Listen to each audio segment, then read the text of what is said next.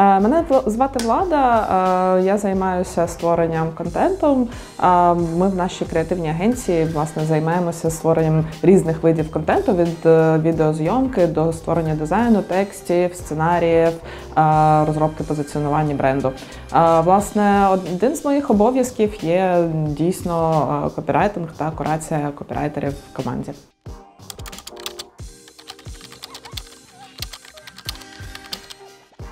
Ну, я скажу так, що власне, наскільки б.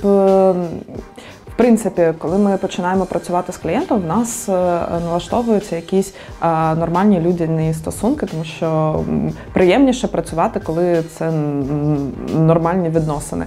Але тим не менш ми намагаємося приводити роботу до такої структурованої та регламентованого якогось формату. Чому це важливо? Тому що так спокійніше як клієнту, так і нам е, всі ми намагаємося фіксувати всі наші обов'язки та етапи робіт, і е, таким чином ми можемо досить чітко встановити та регламентувати, хто що отримує. В кінці нашого нашої співпраці. Чому це важливо знову таки е, через те, що е, не завжди можна трактувати е, якісь слова виключно в одному там напрямку. Так, типу, не можна сказати, що кожен інтерпретує всі словосполучення однаково. Але тим не менш, коли ми намагаємося, хоча б щось зафіксувати на папері, це набуває якогось фіксованого формату, і там вже стає чітко зрозумілим, чітко зрозумілі, скажімо так, межі. Все рівно протягом роботи ми приходимо до якоїсь згоди. Задачі можуть змінюватися, це нормально, це окей. Але є якийсь такий, знаєте, договір це такий базовий фундамент, від якого починається в принципі робота та такий скоуп робіт, скажімо так, скоуп задач.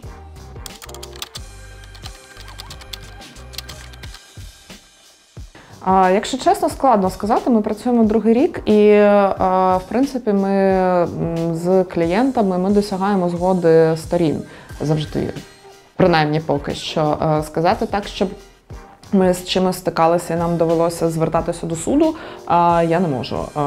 Зазвичай ми, в принципі, це, це впорядковуємо в форматі знову таки якихось людських е, стосунків.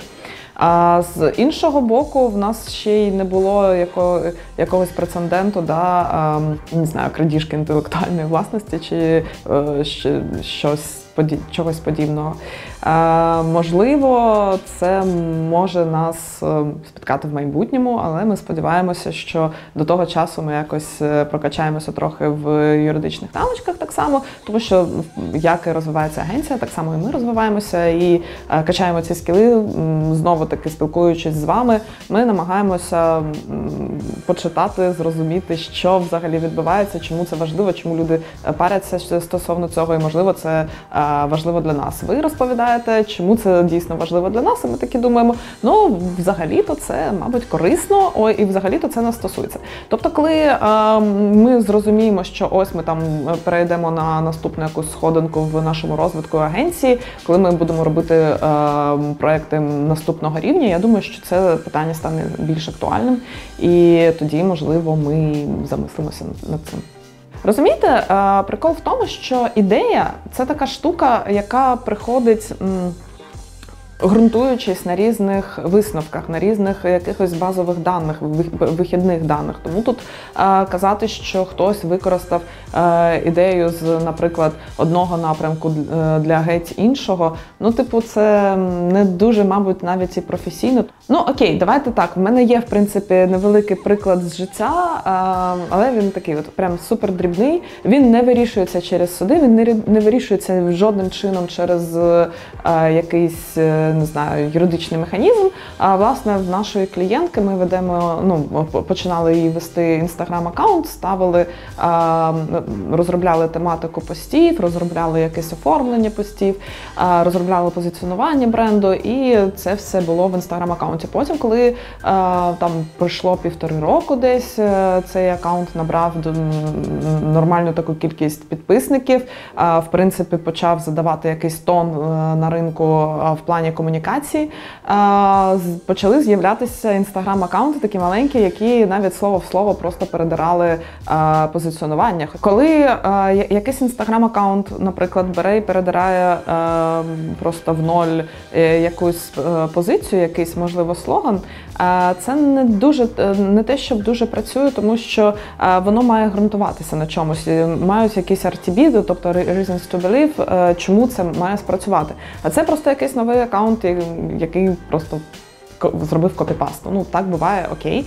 Але це, звісно, неприємно, тому що вони почали майже повністю копіювати пости, просто там викидати якісь якісь частини.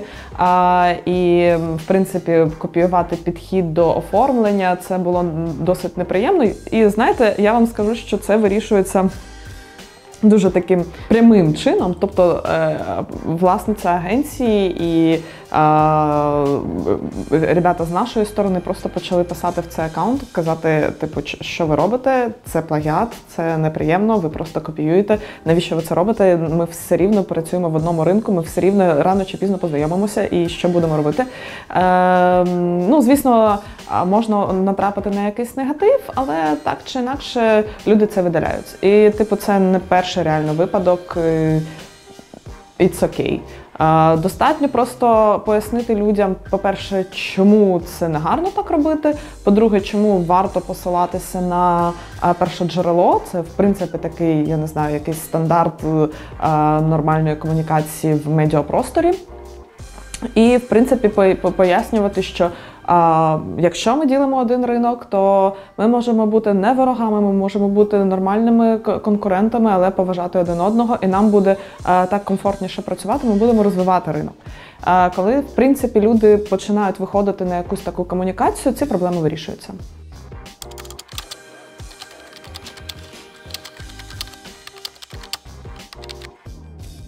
Ну, я не вважаю, що Розумієте, думка, що все придумано, вона з одного боку має місце, з іншого боку, прикол же в тому, як ти прийшов до цієї думки, і на чому вона ґрунтується. Запозичення контенту може бути насправді в моїй практиці існує контент, який ти створюєш для шерингу, і неважливо, хто є автором, тому що є якась більш важлива мета, більш важлива ціль. Бувають такі е, роботи, такі речі, де дійсно важливо і авторство і дуже неприємно, коли е, їх там, наприклад, забирають без підпису, без посилання. Але в цілому, знову таки, це може бути неприємно, але мені здається, це цілком такий момент, який можна вирішити.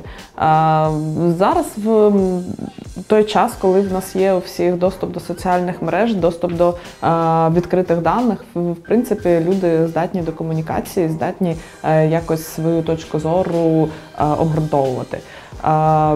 Знову таки питання, ну мені здається, тут реально питання в меті створення контенту. Якщо це створення контенту заради створення, або, наприклад, це має якусь е, цінність таку мистецьку цінність, наприклад, е, історичну цінність, не знаю.